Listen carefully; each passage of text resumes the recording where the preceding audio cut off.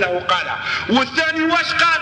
ما عندهاش ثلاث سنين. في الرياض اجتمعوا اجتماعة كبيرة تاع الفلسطينيين. قال ندوا القدس ونرقصوا فيها رقصة الدبكة. فهمنا؟ رقصة الدبكة هذه رقصة معروفة عند الشرقيين عند العراقيين وعند السوريين وعند الفلسطينيين. يعني ندوا القدس ونشطحوا فيها نساوي رجال ونبندروا بربكم يلا واحد منكم الأخران اللي ما يفهمش كامل يقول الناس اللي بغاو يدوا القدس باش يشطحوا فيها يعطيها لهم ربي. يقولوا يعطيها لهم ربي. اللي بغاو يشطحوا في القدس يعطيها لهم ربي.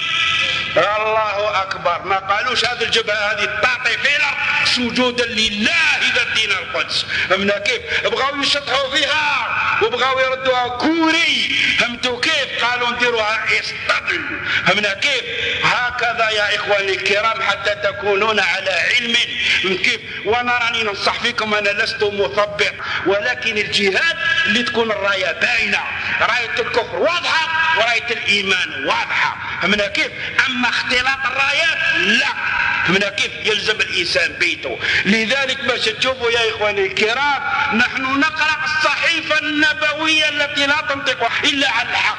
أما الصحف الكذابة فليس بيننا وبينها شيء. فهمنا كيف؟ راهم يستناو يحاربوا ويهودي يحارب يهودي فهمنا كيف؟